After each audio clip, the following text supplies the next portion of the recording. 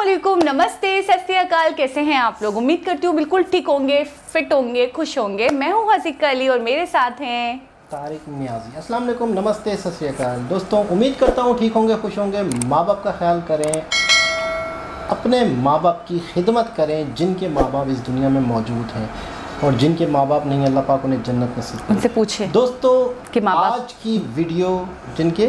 जिनके माँ बाप नहीं उनसे पूछे कि माँ बाप कैसी कि माँ बाप क्या चीज़ है यकीन करें और जिनके माँ बाप हैं वो कभी भी नहीं समझ सकते कि माँ बाप कितनी बड़ी चीज़ है। तो अल्लाह पाक सबके माँ बाप को लंबी ज़िंदगी दे सेहत दे खुशियाँ दे। तो दोस्तों आज की वीडियो है हमारी why India is great part two और इसकी भी हमें बहुत ज़्यादा रिक्वेस्ट थी बहुत ज़्यादा लोगों ने सजेस्ट किया था हमें ये लेकिन हम थोड़ा लेट हो गए इसे बनाने में। सो so, स्टार्ट करते हैं अपनी वीडियो को without wasting any time let's start मैं पकड़ूँ? ओके वीडियो का टाइटल है why India is so great facts about incredible India 2019 start करते हैं अपनी वीडियो को। समझने में why India is so great सुनने में तो ये सिर्फ़ चंद शब्द ही हैं। लेकिन अगर इनका मतलब निकाला जाए तो शायद कई साल लग जाएँगे सिर्फ़ यही समझने में कि भारत शुरू से ही इतना महान क्यों है।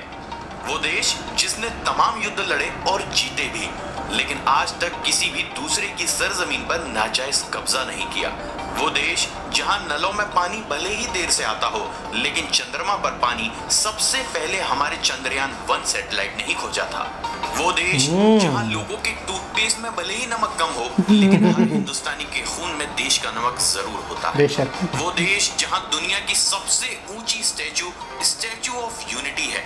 वैसे ऊंचाई से मुझे याद आया कि दुनिया का सबसे ऊँचा क्रिकेट स्टेडियम भी हमारे ही देश में है जो कि धर्मशाला में स्थित है।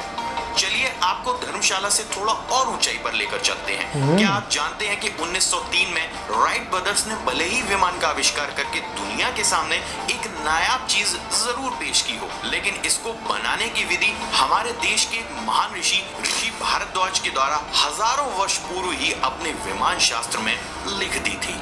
वापस पृथ्वी की ओर चलते हैं। दोस्तों क्या आप जानते हैं कि आप उस देश के नागरिक हैं जिसने इस पूरी दुनिया को यूएसबी की सौगात दी है? जी हाँ अच्छा। यूएसबी के इन्वेंटर एक ही है जिनका नाम अजय वी भट्ट है। वैसे यूएसबी अमूमन कंप्यूटर्स में ही यूज़ की जाती है। और ये तो हम सभी जानते हैं कि कंप्यूटर्स बाइनरी कोड की लैंग्वेज को समझता है। अब आप सब बाइनरी कोड की खोज का श्रेय भले ही गॉडफ्राइड विलियम लेबनीज को देते हो लेकिन वास्तव में इसकी खोज मौर्य काल के एक प्रसिद्ध विद्वान पिंगल ने अपने छंद्र शास्त्र में की थी। और वो भी मिस्टर गॉडफ्राइड से हज़ारों वर्ष पहले। तो एक तरीके से को कंप्यूटर की सौगात देने वाला कोई और देश नहीं बल्कि भारत ही भारत। है वैसे अमूमन 70 परसेंट इंसान कंप्यूटर का इस्तेमाल इंटरनेट चलाने के लिए करते हैं वैसे इंटरनेट से मुझे याद आया कि भारत दुनिया में दूसरे स्थान पर आता है जहाँ सबसे ज़्यादा लोग इंटरनेट का इस्तेमाल करते सबसे हैं। इसके साथ ही भारत दुनिया का पहला वो देश है जहाँ सबसे कम दाम पर 4G की फास्ट इंटरनेट सेवा दी जाती है वैसे फास्ट स्पीड में चलते चलते हम इतना ग्रो कर रहे हैं कि इंडिया की इकोनॉमी वर्ल्ड की फास्टेस्ट ग्रोइंग इकोनॉमी है और जब इतनी स्पीड की बात हो ही रही है चाइना से भी आगे। ब्रह्मोस को पीछे कैसे छोड़ सकते हैं ब्रह्मोस दुनिया की सबसे तेज स्पीड पर चलने वाली मिसाइल है जिसने भारत की सैन्य शक्ति को एक अलग ही स्तर पर पहुँचा दिया है। वैसे सैन्य शक्ति से मुझे याद आया कि भारत के पास दुनिया की चौथी सबसे बड़ी सैन्य शक्ति है और इस सैन्य शक्ति का हर एक सिपाही इस देश के लिए हीरो है। अब हीरो की बात हो ही गई है तो मैं आपको बता दूँ कि दुनिया को हीरे की सौगात देने वाला कोई और देश नहीं बल्कि अपना देश भारत ही है। ये वो देश है जिस पर जरा सा भी अगर संकट आता है तो हर धर्म का इंसान एकजुट होकर अपनी भारत माता के दूध का कर्ज उतारने के लिए दुश्मन के आगे अपना सीना चौड़ा कर खड़ा हो जाता है। वैसे दूध से मुझे याद आया कि भारत इस दुनिया का दूसरा सबसे बड़ा मिल्क प्रोड्यूस करने वाला कंट्री है। ये वो देश है जहाँ पर 22 ऑफिशियल लैंग्वेजेस के साथ साथ 1600 से भी ज़्यादा भाषाएँ बोली जाती हैं। साथ ही भारत विश्व का दूसरा ऐसा देश है जहाँ सबसे ज़्यादा इंग्लिश बोली जाती है। यहाँ की कुछ भाषाएँ खड़ी होती हैं तो कुछ भाषाएँ मीठी। वैसे मीठे से मुझे याद आया कि इस दुनिया को मिठाई की सौगात देने वाला कोई और देश नहीं बल्कि अपना देश भारत ही है। चीनी को साफ़ करने और उसकी क्रिस्टल बनाने की विधि का आविष्कार किया था वो भी ये वो इंडिया में। देश है जहाँ खेल सिर्फ़ खेल नहीं बल्कि एक भावना एक जज्बात और एक जुनून होता है तभी तो इस देश ने चेस लूडो सांप सीढ़ी हॉकी कबड्डी और मार्शल आर्ट जैसे महान खेलों को जन्म दिया है जी हाँ बहुत से लोग अच्छा। मार्शल आर्ट मार्शल आर्ट की। कला मानते हैं हम्म, लेकिन मुझे भी ऐसे है। मार्शल आर्ट को भारत के बोधि धर्मा के द्वारा चाइना तक पहुँचाया गया था अब बात अच्छा। अगर इतनी एक्सरसाइज की हो ही रही है तो हम भारत की योग कला को कैसे पीछे छोड़ सकते हैं।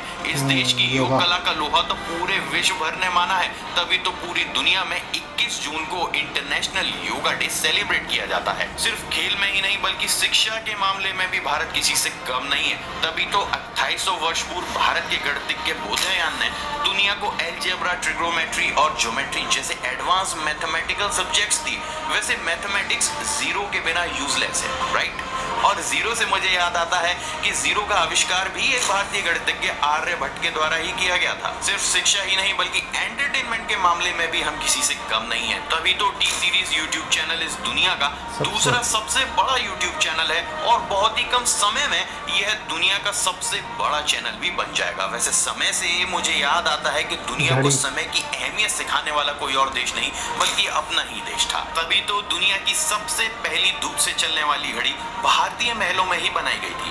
और इसी के बाद दुनिया को यह भी मालूम पड़ा कि वास्तव में समय नाम की भी कोई चीज़ होती है। दोस्तों, ये तो मेरे देश की एक छोटी सी कहानी थी, जो मुझे अपनी ज़ुबान से आप सब लोगों को सुनानी थी। आप अपने देश के बारे में क्या सोचते हैं, कमेंट करके ज़रूर बताइएगा। साथ ही दोस्तों, इस वीडियो को ज़्यादा से ज़्यादा लाइक और ज़्यादा से ज़्यादा शेयर कीजिएगा, ताकि एटलीस्ट सब लोगों को ये मालूम पड़ सके कि हम भारतीय किसी से कम नहीं।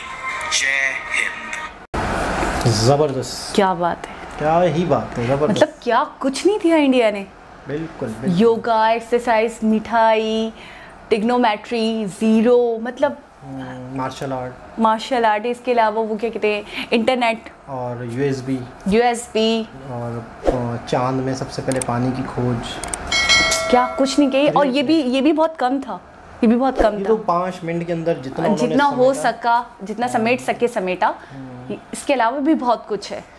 अच्छा बड़ी तेज़ी से और बड़ी जल्दी जल्दी ये पाँच मिनट के अंदर बहुत सारी चीज़ों को कवर करने की कोशिश की गई वरना तो चीज़ें इतनी हैं हमने बहुत सारी वीडियोस देख भी ली हैं जिसमें हमें अब हमें नॉलेज हो चुकी है। हाँ, हीरे हीरे का जैसे हम्म, हीरे हमें पता था कि हाँ, उसकी कटिंग एंड पॉलिश सबसे ज़्यादा इंडिया में ही होती है। हम्म, ज़ीरो का और इंटरनेट का सस्ता तरीन इंटरनेट अच्छा इसका मतलब ये है कि अब हमें बहुत कुछ पता चल चुका है। इस वीडियो में कुछ। फिफ्टी परसेंट या पच्चीस फ़ीसद चीज़ें हमें हाँ, थोड़ी सी हमें ऑलरेडी पता थी। पता थी। तो अब हम कह सकते हैं कि हमें थोड़ी बहुत नॉलेज हम इंडिया को मतलब पूरा नहीं तो टेन परसेंट तो समझ चुके हैं है ना? नहीं नहीं नहीं नहीं टेन परसेंट नहीं अभी इंडिया बहुत है।